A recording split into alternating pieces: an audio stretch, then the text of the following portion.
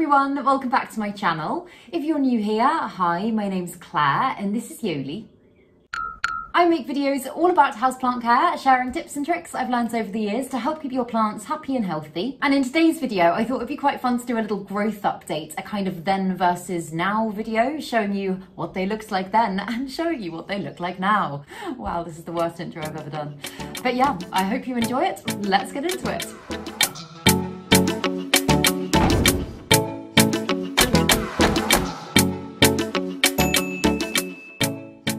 So it was really, really weird looking back over my plants for this video because there's been quite a lot of changes, like subtle changes that I haven't really noticed because I see them every day. But when I put them side by side, I'm like, whoa, that's crazy. And also I just found it so uncomfortable going back and watching my old YouTube videos. I don't know why, I was so awkward. I'll probably be saying that about this video this time next year, but we'll see. So the first one that I want to show you is my golden pothos, which I showed you back in December 2020, which was just over a year ago now. I've got this devil's ivy plant, which actually started from just one cutting years ago. But I'm gonna just hang it right in the middle. Oh, try not to bring the curtain rail down. So this is 15 months worth of growth. I might actually have to stand up because she's got so long. It's unbelievable. I would say she's so that's her touching the floor. She's up to there on me, stood up, which is just ridiculous. She is such a fast growing plant. I know I've spoken about her before and she's 100% one of my all time favorites. I know she's not a mega rare plant, but I just adore her so, so, so, so, so much. And her growth towards the bottom here now is getting so big. Like if you compare it to her leaves at the top, which were tiny, she's just doing so, so, so well. I did propagate this one from cuttings ages ago. She's gone absolutely crazy and I'm so proud of her. She's such a low maintenance plant, so ridiculously easy to care for. I just love her. Look at how she's so long. I could, I could wear her as a scarf nowadays. There we go. And then the next one's my Euphorbia acrurensis, which I'm going to compare to February last year because I put this plant on my fastest growing plants list in a video recently and lots of people were like, that's not a fast growing plant. And I beg to differ. This is Eleonora. She's a Euphorbia acro, acrorace, uh, basically commonly known as a cowboy cactus. Fun little fact for you, she's actually not a cactus. She is just a succulent, but obviously often mistaken for a cactus. So 13 months later, this is her now. And oh my goodness, she is so, so, so heavy. I don't know if I can even fully get her in the shot. Yeah, there we go. Look at all that new growth as well. It's so beautiful. This is just, this is her favorite time of the year. I know we're in growing season. Oh, to put her up bit. But yeah, I know we're in growing season, but she's just suddenly kicked into action these last few weeks and has just produced so much new growth. I would say from about there has been new growth in the last couple of months. And she's just doing amazingly. She's the easiest plant in the world. I know I said that about the pothos, but this one, honestly, I think I water her kind of every three weeks or so, only when the soil is pretty much bone dry. And she just, she just does her thing. She really doesn't require much care, but she's beautiful. And I just love how kind of chunky she's got in this last 13 months because before she was just a little bit leggy. She kind of looked like a cactus that had been stretched and now she looks like cactus succulent, you know what I mean? Now she just looks like a big beefy kind of statement plant and yeah I absolutely whoa adore her and then this one's my string of pearls that I showed you about five months ago Another great house plant that's not very expensive is the string of pearls. It is such a lovely plant. And this is her today. She is doing so, so, so well. And as you can probably tell, I actually transferred her to a smaller pot, which is something that I don't do very often. But the pot she was in before was really tall and her roots weren't able to reach the bottom. So she was kind of just getting a bit waterlogged and wasn't doing amazingly. So I thought, oh, okay, I'll pop her in a smaller pot and see how she does. And she is doing brilliantly. She's just such a beautiful plant. I know I've banged on about texture before, but the texture of this plant is just unbelievable. I just love it so, so, so much. Oh God, I know I'm such a geek. But yeah, I just love it. It's beautiful and it looks gorgeous with my other hanging plants. I actually probably think she's going to be ready to be moved up a pot size in the next few months, I'd say, because she's very, very, very full now and she's pushing out a ridiculous amount of new growth. But I'm so proud of her. I, I love her. I love all of these ones. I've got so many memories with them, but this one's doing well and she's the best. And this next one's my variegated spider plant, which when I first showed you her back in April last year, she was literally just a teeny tiny propagation. But also I just wanted to show you this little spider plant I've got here that's propagating in water. It has literally only been in water for about two days. They literally grow roots so quickly. I know you don't have to put them in water, but I just really like watching the roots growing. So and this is her now. Look at how much she's grown. I'm, oh, I just absolutely adore this plant. And again, I find her really easy to look after. She's really given me no grief at all. It was when I first put her in my grow cabinet, that's when I started to notice her kind of properly kick into action, give me some amazing growth. And now she's looking like a pretty mature plant. I propagated this one from my mum's big plant and I'm kind of thinking she's getting to the stage where she could start giving me some babies herself soon. I'd be so happy if she did. I could I could fill my house with spider plants. I really do love them that much. She's gorgeous. These next two are ones that if you've been watching my YouTube channel recently, you'll probably have seen quite a lot of updates on. They are the plants that I found in the skip two and a half months ago now. And their growth has just absolutely blown my mind. They are Thaumatophyllum bipinnatifidum. There we go. Oh my God. Whoa, there go the scissors. Look at that. There we go. So now I've got two separate plants. And in just two and a half months, this is what they are looking like now. And I'm just so, so, so proud of them. I didn't know if they were going to do anything at all because they'd been out in Storm Eunice, which was a really, really bad storm that we had here in the UK. And I didn't know if they were going to make it, but they're turning into beautiful plants. And I mean, if this is two and a half months worth of growth, then just think what they're going to be like in six months. I think they're going to be ginormous. And I didn't really anticipate that when I first found them because I can't really fit any more big plants in my house at the moment. So I was going to say maybe I'll give them away or sell them, but I've, I don't know why. I've got so attached to these plants. I think probably because they were absolutely nothing and I've watched them kind of come back to life and now I feel like I can never part with them. So, so yeah. I think these two are the definition of hardy plants. They have been through, as I say, they've been through the storm, they've been through colds, they've been through being chopped back to nothing, their whole root system being chopped back, and they're still doing amazingly. So I would say if you're a beginner and you're looking for a really hardy, really fast growing plants, then these ones are a very, very, very good idea. I could not recommend them more personally. And next is my Alocasia Silver Dragon that I got in my House of Kojo order six months ago now. Look how tiny it is. Oh, it's so gorgeous. Considering it's only got three, it's got fourth leaf on the way, but three leaves, and it's so small and fragile, I'm so impressed that there's no damage on this. Yeah, look at that. So I heard that for alocasias, these ones are actually quite slow growers. And I don't really know if this is slow or fast in six months, but she's doing really, really well. I haven't shown her that much on my channel, to be honest, and I don't know why, because she's a beautiful plant and she's got a gorgeous new leaf coming there. Her leaves are just getting bigger and bigger and bigger. I think that one there was the original leaf that she had when I first got her. And since then, oh my goodness, you can see they are getting, they're getting so big. That's the, that's the most recent one. And I feel like this one's gonna be even bigger. She is probably due, yeah, She's due for a repot. I've only repotted her once in the last six months, but now she's kind of got going, I feel like she probably needs some attention. Again, she's been in my grow cabinet and has just been getting on so, so, so well in there. Good heat, good light, good humidity, and that is exactly what Alocasia's like. She's she's beautiful. She has also got a couple, and I don't know, I might need to put some clips in if you can't see properly, but she's got a couple of little bulbs. Yeah, I'm gonna have to put some clips in Oh, you can see that one there, a couple of little bulbs coming up from the soil and they're sprouting as well. So I'm trying to figure out whether or not I want to divide them from the mother plant or just let her become a really big, full bushy plant. What do you guys reckon I should do? Do you think I should divide them and make new plants or should I let her keep going? I don't know. Let me know in the comments. And then this one's another one that I've kind of mothered from a very young age. This is a variegated aloe vera that I showed you in February last year. I'll put the clip in in a minute. But this one's one that I found as a little pup in the soil from the mother plants when I was doing my shop and I was like, oh, I'll take that out and I'll try and propagate it. And she's done amazingly well. She's a little bit wobbly. I'm not sure how well established her roots are, but she is doing so well.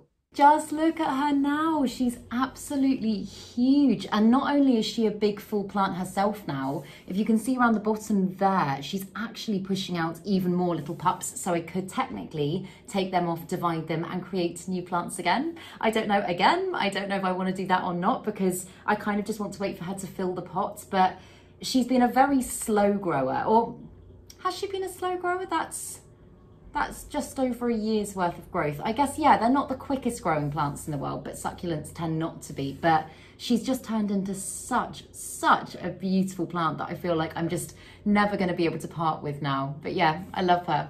And then this one I would say is probably the fastest growing plant in my collection. It's a Rhaphidophora tetrasperma and I will put a clip in of it from five months ago. This next one's known as Monstera minima, but its Latin name is Rhaphidophora tetrasperma, which is just the most satisfying name in the world to say.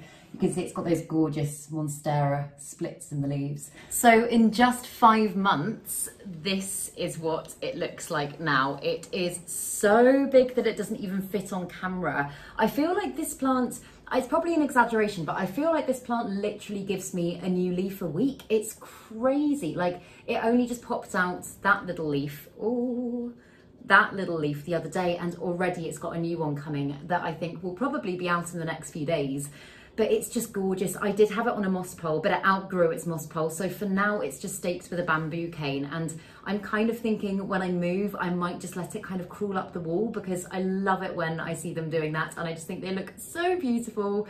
But yeah, I do, I have propagated this plant as well. And I'm not sure if I want to chop her again. I kind of like the way that she's growing now. And yeah, I just, although I love propagating a lot of my plants, when I see them producing really gorgeous growth, I'm kind of like, I want to just let you keep going and not interrupt that at all. And the other thing as well, the auxiliary buds on the stem here, they're all pretty much popping at the moment. So I think, can you see like there? I think I'm going to get some beautiful growth coming out to the sides as well, which I don't think I've ever actually seen on this plant. I've definitely never experienced it with this plant before. And I can't really imagine yet what it's going to look like and whether or not I will have to kind of pot her slightly differently if I let her continue to go up or if I kind of allow her to branch out to the sides. I don't know. I don't know, but I just love her. She's beautiful and I'm just, yeah, so impressed with how quickly she's grown. The next one is the one, the big one behind me, my variegated monstera, which I'm gonna show you a clip from February last year. So again, in just over a year, she has just, oh my goodness, she's gone crazy. I did have my fiddle leaf fig here, but I think I'm gonna swap it out for my variegated monstera, mainly because, as you can see, it is desperately in need of a new moss pole, and I haven't got around to doing that yet. So at least for now, the wall will offer it some support. So in that clip that I just showed you, bearing in mind she was put on a table there and she was raised up, this is her now, she's on the floor. This is how big she is now. She is literally touching the ceiling and I'll try and stand up so you can get an idea of, hang on, let me stand next to her.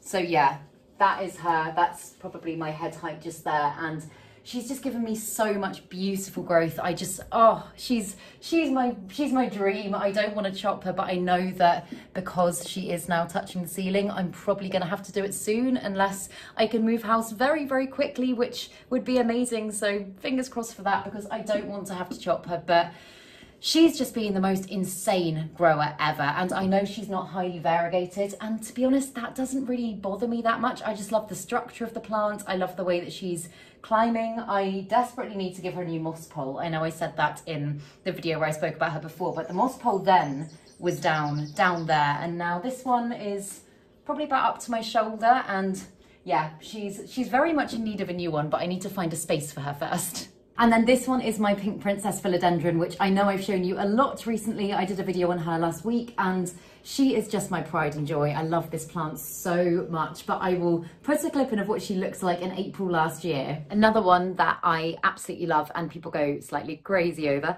is the Pink Princess Philodendron. I was also just really surprised at how quickly they grow. Like, I don't know why I thought they'd be slow because they're a philodendron, but this was just a little propagation a few months back and it's popped out one, two, three, four, about four or five leaves since then. So in about a year, this is what she's looking like today. She is an absolute giant and I'm falling more and more in love with her the bigger she gets, to be honest. I was contemplating chopping her back a little while ago and then she started giving me leaves like that. I don't know if you can really tell on camera how big that is, but it is huge and her growth rate is just insane, absolutely insane. And yeah, now I feel like I'm just gonna have to let her carry on forever until she's as big as that one because I don't think I'm gonna be able to bring myself to cut her back.